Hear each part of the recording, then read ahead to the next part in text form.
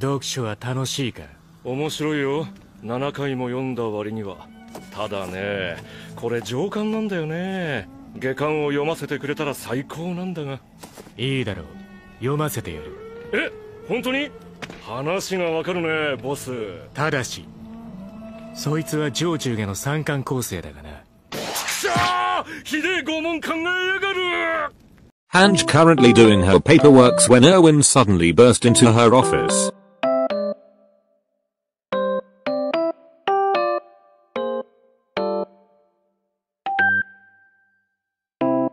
Erwin and sit in front of Hange. He then shakes his head.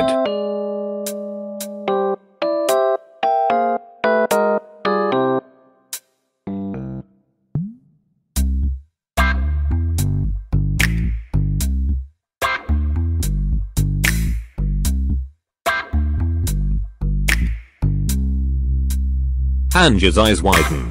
Yes, she is prankster. She loves to tease Levi and make his life miserable, but even her pranks has limits. Erwin then grab Hange's hand and brings her to Levi's office. As they enter, Hange's eyes widen as she saw the scene. On the couch, Levi is sleeping. But, he is not alone. On top of him, is you. Yes you. Both of you seem fallen asleep together. On Levi's desk, there are two can of energy drinks.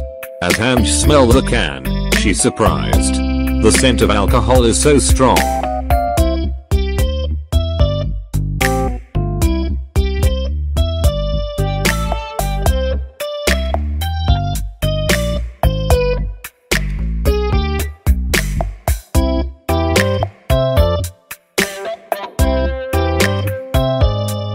Levi sighed. He is freaking tired and now they want him to make reports? And not one, two but so many stacks of reports.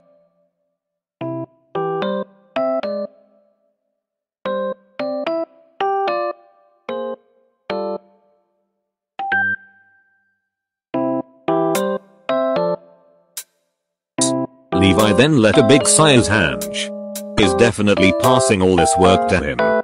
He then open his small eyes wide and grab a pen.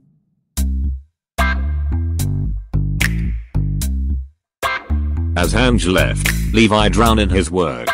He write, write and write. But then he got super tired.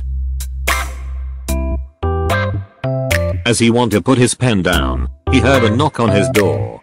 Who the hell wants to see him in the middle of night? However, he gets up and open the door. No one is there.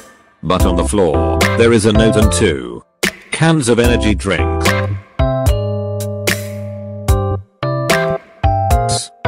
Levi then read the notes and hold two cans of energy drinks.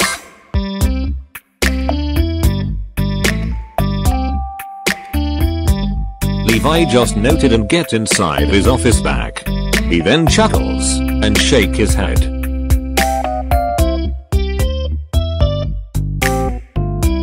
Without thinking, Levi drinks two can of the energy drinks in one go. He is so tired and needed this. After 5 minutes, Levi feels a burst of energy. But different kind of energy. He feels his head dizzy, and he starts to mumble. Shit. Yes, he got drunk on the spot.